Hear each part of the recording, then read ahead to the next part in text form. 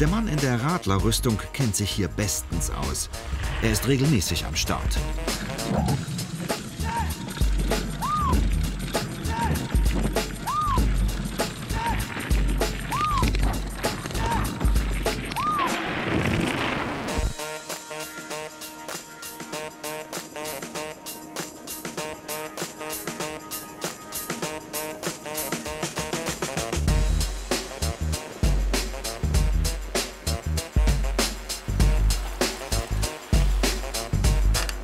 Vollschutz ist Pflicht, denn sein wichtigstes Arbeitsgerät ist nicht das Bike, sondern seine Hände und Finger. Vicente Patis, 42 Jahre, gebürtiger Johann Georgenstädter, Musiker, Gitarrist und zwar kein schlechter. Einer, der Abenteuerlust und Übermut, Sanftheit und Humor auf herrliche Weise verbindet und lebt. Er nimmt sehr ernst, was er tut, sich selbst aber gern auch mal auf die Schippe. Über seinen etwas eigenartigen Fingernagelfetisch muss er selbst lachen, wenn man ihn fragt, was das eigentlich soll.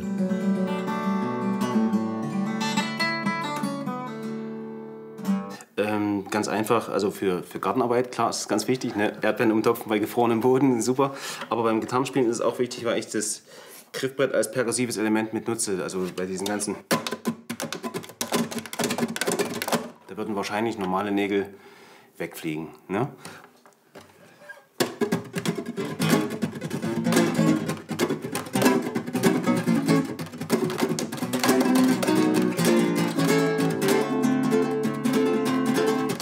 Vicente Partis ist ein Künstlername.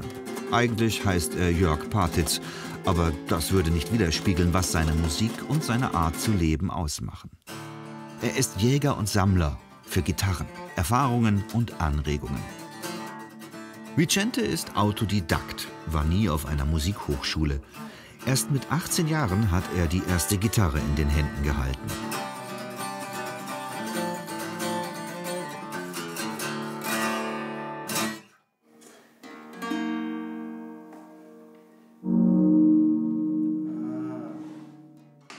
Heute ist er ein international gefragter Gitarrist für die verschiedensten Stile und Musikrichtungen. Wenn er auf Konzertreisen unterwegs ist, bringt er sich Erinnerungsstücke mit nach Hause. Er findet, dass die sich gut machen in seinem kleinen Erzgebirgshaus, das er gerade ausbaut.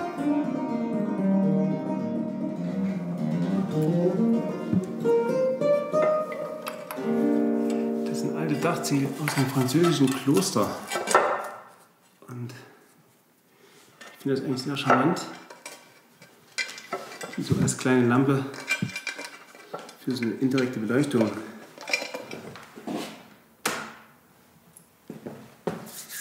Super. Für Auftritte probt er am liebsten ganz allein in seinem Häuschen, das einst die Wismut für ihre Bergarbeiter errichten ließ.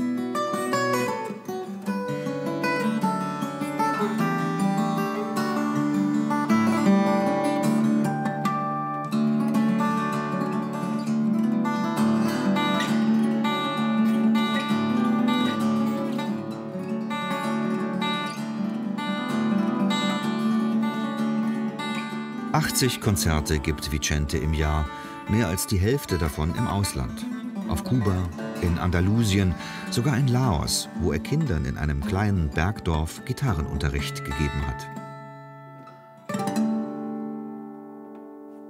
Mag das, so aus den Orten und Ländern, die ich so bereise, so, so Sachen mit nach Hause zu nehmen. Das sind immer irgendwo auch so kleine Geschichten, die dann halt allgegenwärtig sind. Ne?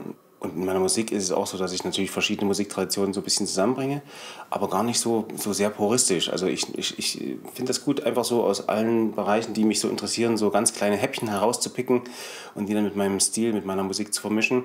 Und so ist das im weitesten Sinne halt einfach bunt. Vermutlich könnte Vicente überall auf der Welt leben, will er aber nicht. Die Erzgebirgsheimeligkeit, egal zu welcher Jahreszeit, sie würde ihm fehlen. Ja, diese Spinne hat mein Papa gemacht. Und ich mag dieses Ambiente, wenn es so ein bisschen gemütlich ist und, und schon weil es der Papa ist, kann das natürlich auch im Sommer angemacht werden. Nirgendwo auf der Welt habe man alles so gut beisammen wie hier im Erzgebirge, sagt er. Und wenn mal was fehlt, wird nicht gemeckert, sondern angepackt.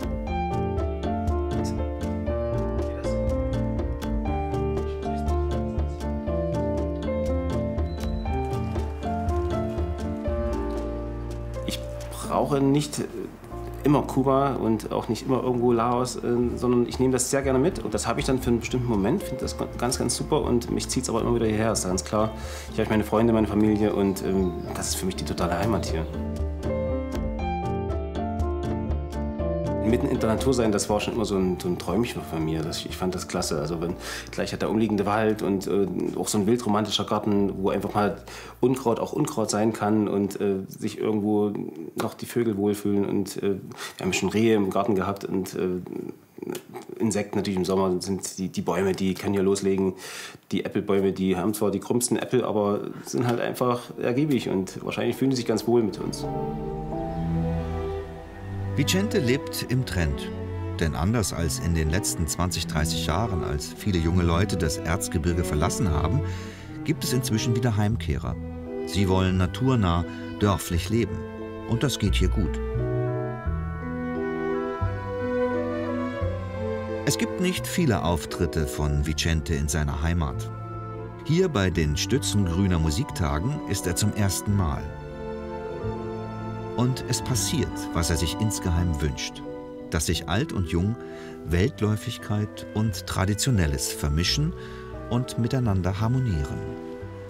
Das Motto in meinen Konzerten ist ja so ein bisschen, die Welt ins Konzert zu bringen. Und ähm, das funktioniert hier in meinem geliebten Erzgebirge wunderbar die Menschen hier sind sehr offen, auch wenn man es vielleicht gar nicht immer gleich vermuten möchte. Aber dadurch, dass ich natürlich sehr positive Erlebnisse von meinen Reisen berichten kann, ist natürlich klar die, der Aufmerksamkeit Feedback einfach darauf, dass die Menschen, die halt auch von überall herkommen, halt einfach cool sind.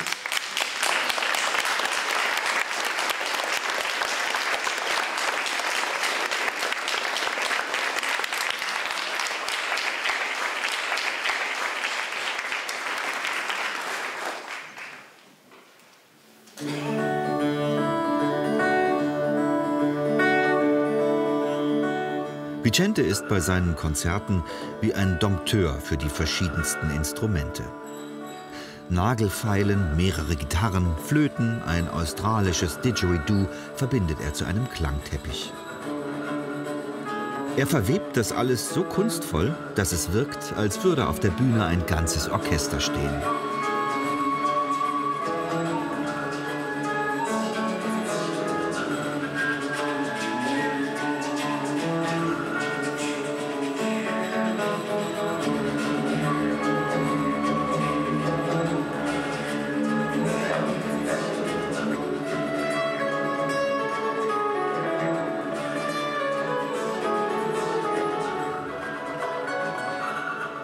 Die Geschichten, die Vicente zwischendurch erzählt, sind seine wahren Schätze. Vielleicht, sagt er, erreichen sie die Herzen seiner erzgebirgischen Landsleute, die in Sachen Weltoffenheit gern etwas offensiver sein können. Wir haben den europäischen Weltmeisterfußball nach Laos ins Dorf gebracht. Wir haben gegen die kleinen Knirps gespielt und hatten keine Chance. Und dann habe ich so, so einen kleinen Knirps, der dann mir vorher drei Tore reingehauen hat, so einen Fußball geschenkt. Und jetzt steht dieser kleine Knirps vor mir mit seinen riesigen Kulleraugen, so dunkle Kulleraugen. Und ähm, der grinst mich schon an in Vorfreude auf diesen Ball. Und, dann folgt der komplette Mundwinkel. Der geht bis einmal das Ohr. Wahnsinn. Mir ist so dermaßen das Herz aufgegangen, dass ich mir dachte, den Moment muss ich mit nach Hause nehmen. Daraus ist dieser Song geworden selbst geschrieben wie alle seine Stücke, selbst eingespielt und auf CD gepresst. YouTube braucht er nicht, Agenten auch nicht. Er ist ein Ein-Mann-Orchester mit einer Botschaft, die dem Erzgebirge ganz gut tut.